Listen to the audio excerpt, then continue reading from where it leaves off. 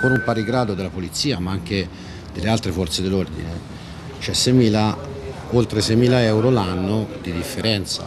Certo che si ripercuote sulla differenza mensile che in alcuni casi va fino a 700 euro di differenza. Noi non rivendichiamo di, come dire, che loro ovviamente gli altri corpi di polizia, noi rivendichiamo almeno l'equità. Annullare le disparità di trattamento con gli altri corpi nazionali di sicurezza è questa la richiesta contenuta nel documento che i Vigili del Fuoco del sindacato Conapo hanno consegnato questa mattina al prefetto di Arezzo Clara Vaccaro. Il rischio loro di una certa natura, il nostro probabilmente di un'altra, ma a livello di rischio penso che si possa equiparare. La manifestazione dei pompieri aretini davanti al Palazzo del Governo si inserisce all'interno di una ben più ampia protesta nazionale con sit-in simultanei in tutte le province d'Italia in vista dell'approvazione del decreto di riforma del Corpo Nazionale dei Vigili del Fuoco prevista nei prossimi giorni. In, in appoggio in, al nostro segretario nazionale del, del sindacato Conapo che è dal 15 di maggio che sta facendo lo sciopero della fame per sensibilizzare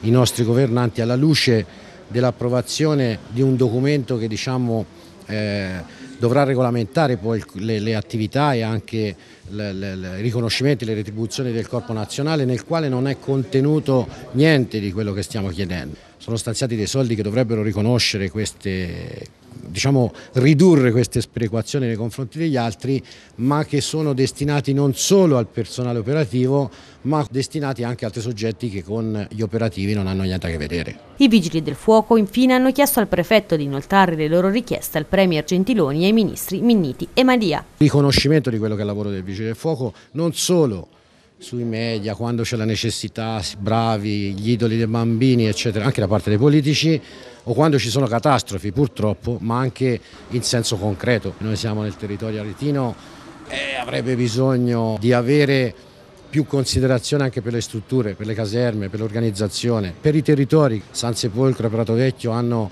eh, del personale volontario al quale non possiamo altro che essere, come dire, riconoscenti ma che comunque il personale volontario proprio per la natura del volontariato non può essere equiparato al personale permanente.